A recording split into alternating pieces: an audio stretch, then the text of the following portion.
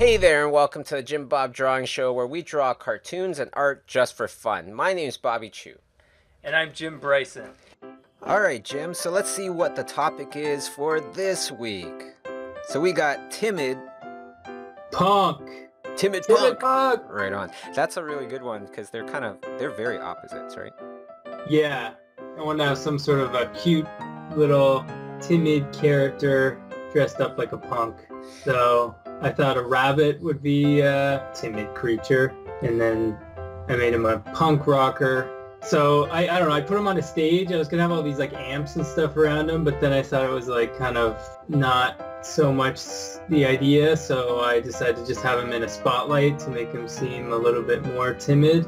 Yeah, I like how you use the rabbit too, because rabbits are definitely very timid creatures. You know, my brother had rabbits years ago, and before they were cool. He had a friend babysit them, and then they came back super timid, so I don't know what happened Oh, over no. there. Easily scarred. You know, presenting things and, you know, being a rock star, being on stage with everybody looking at you is definitely a very scary experience for many people. You know, many people would be very timid even if they aren't normally in that kind of situation. Are you good in those kind of situations, Jim? I used to be like deathly afraid of giving speeches and stuff like that when I was a kid, but I kind of grew out of it. I don't really care anymore. I'm not too bothered by it, I don't think. Yeah, we've done a few panels together and such, and you've always seemed quite natural and pretty much exactly what you're saying. I wouldn't say I'm good at it. I'm just not afraid of it. yes, definitely seemed like you didn't care. I was also one of those people that was very, very timid. I remember the first couple times talking in front of people, like presentation kind of deal where you didn't know the people, their clients or whatever. Oh, I looked fine in the front, but the back of my shirt was completely transparent probably by the time I got up. I was such a wreck. How long did it take for you to uh, overcome your fear? Yes, about eight times throwing myself into the fire and having to talk for like an hour or more.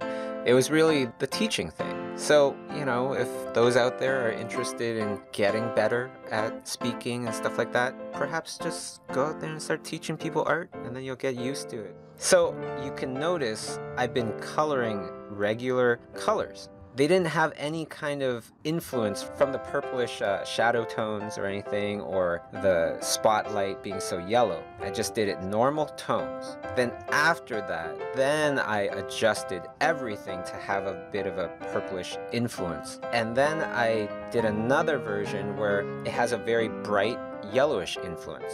So wherever i felt the light would hit the rabbit i would give it that yellowish influence. I would expose that version That's so great.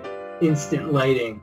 in the end, to really tie it together, we needed a bit more influence of the yellow light coming down. So added a bit of that, added a little bit of splatter, and just blurred it so it, it feels more like particles in the air kind of thing. Awesome. Timid punk. Timid Punk!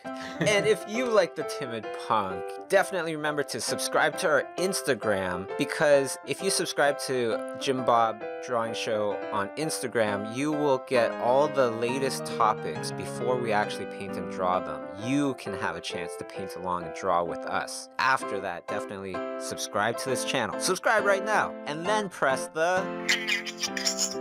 that way you will get instant notifications of the next time we put out a new video, which will be next week and every week. So see you then. See ya.